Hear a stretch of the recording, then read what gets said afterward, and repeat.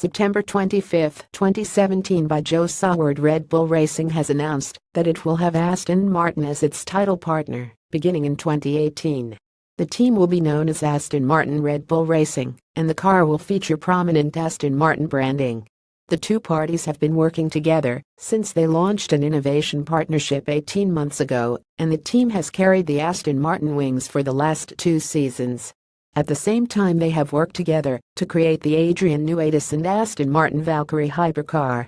In reality, the relationships go back far beyond that as Aston Martin's Andy Palmer and Simon Sproul were working together with Red Bull when they were at Nissan and were responsible for Red Bull's Infiniti sponsorship deal, which began back in 2013.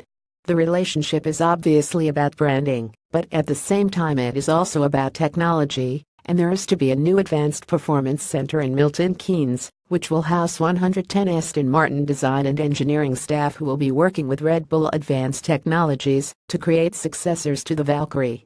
Title partnership is the next logical step for our innovation partnership with Red Bull Racing, Palmer says. We are enjoying the global brand awareness that a revitalized Formula One provides. The power unit discussions in Formula One are of interest to us, but only if the circumstances are right. We are not about to enter an engine war with no restrictions in cost or dynamometer hours, but we believe that, if the FIA can create the right environment we would be interested in getting involved. If the regulations are right, it is expected that the team, Cosworth, and McLaren will work together to create an engine for 2021. What happens in 2019 and 2020 remains to be seen as it is hard to imagine that the team will be able to use Honda engines with a car covered with Aston Martin logos. The current deal with Renault, hidden beneath TAG Heuer branding, looks like it will be terminated at the end of 2018, which leaves a two-year gap that must be filled.